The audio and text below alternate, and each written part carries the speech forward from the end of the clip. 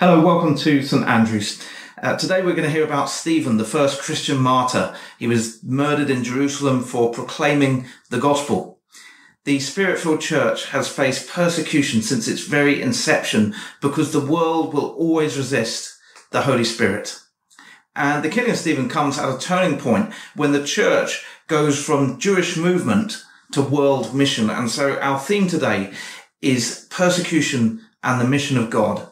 Our key verse is Acts 7 verse 51. You stiff-necked people, your hearts and ears are still uncircumcised. You are just like your ancestors. You always resist the Holy Spirit. Let's pray.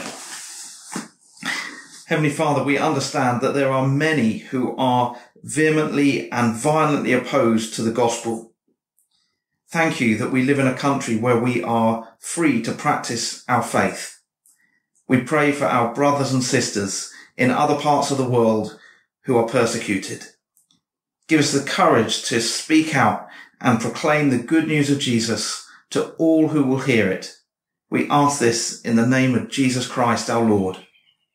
Amen.